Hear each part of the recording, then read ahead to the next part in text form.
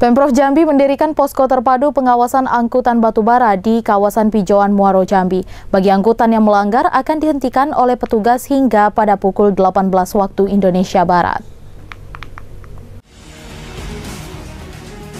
Pemerintah Provinsi Jambi akhirnya mendirikan posko terpadu pengawasan angkutan batubara di kawasan Pijoan Muaro Jambi, tepatnya di kawasan SMA Negeri Titian Teras Abdurrahman Sayuti.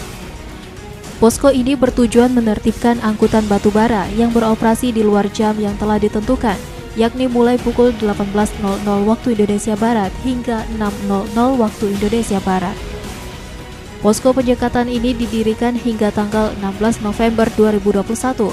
Kegiatan penyekatan ini merupakan tindak lanjut dari aspirasi oleh Himpunan Mahasiswa Islam atau HMI yang telah melakukan orasi tentang angkutan batubara beberapa waktu lalu.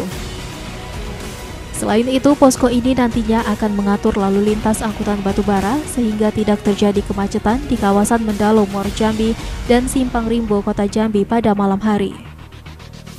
Kepala Dinas Perhubungan Provinsi Jambi Varial Adi Putra mengaku persoalan operasional angkutan batubara yang melanggar jam yang telah ditentukan tidak akan selesai meski sudah dilakukan tindakan gaku.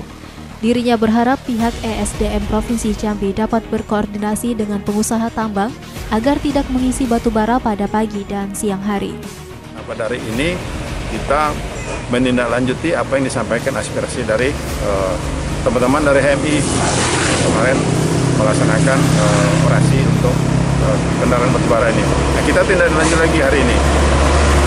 Dapat kita lihat di pagi hari ini masih ada juga yang melaksanakan operasional uh, menyalahi aturan uh, jam operasional kendaraan batubara ini. Nah ini perlu kita tertibkan. Rian Chen Chen, Cek melaporkan.